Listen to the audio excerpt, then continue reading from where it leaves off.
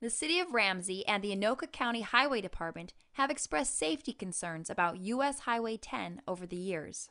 Highway 10 crosses the City of Ramsey for over five miles on the south side of the city from border to border. Highway 10 is an expressway with multiple entry, exit, and access points. Approximately 41,000 vehicles travel this highway each day. There are currently three intersections that are controlled by semaphores. Armstrong Boulevard, Ramsey Boulevard, and Sunfish Lake Boulevard. Since 2004, the City of Ramsey, in cooperation with Anoka County, has spent $4 million of city funds to make improvements to these intersections. Over the past five years, there have been 686 accidents on this stretch of highway.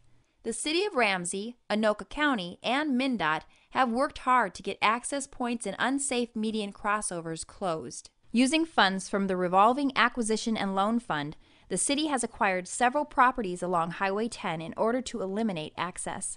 The ultimate goal is to have grade separation at all three intersections that are currently controlled and make Highway 10 a freeway similar to the freeway that runs through Coon Rapids. The separation would include the Burlington Northern Railroad tracks that run parallel to the highway. These tracks currently run between 65 and 70 trains per day. On July 29, 2011, at 7:51 p.m., a three-vehicle accident occurred at the busy intersection of Highway 10 and Sunfish Lake Boulevard. Approximately 9,500 vehicles use Sunfish Lake Boulevard each day. The accident was caught on tape by a MnDOT traffic management camera. Two vehicles are seen entering Highway 10 from Sunfish Lake Boulevard.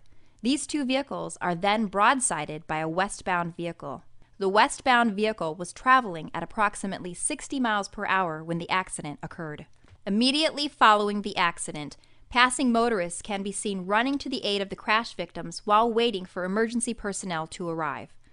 Many of these people can be seen stepping into the path of oncoming traffic, while another individual can be seen smoking in the area of the severely damaged vehicles while flammable liquids are plainly in sight.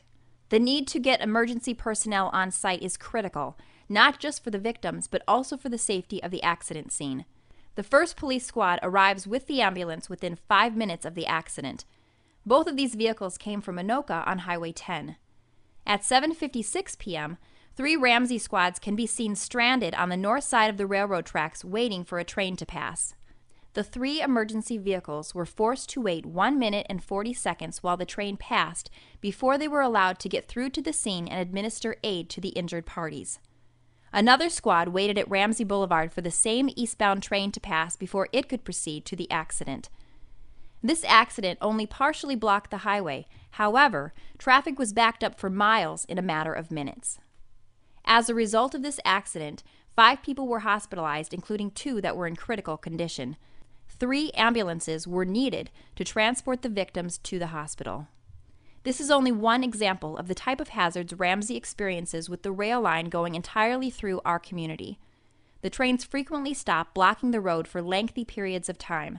The same safety concern applies to ambulances traveling to aid residents on the north side of the railroad track as it does to those transporting the ill or injured from the north side of the tracks to Mercy Hospital's emergency room.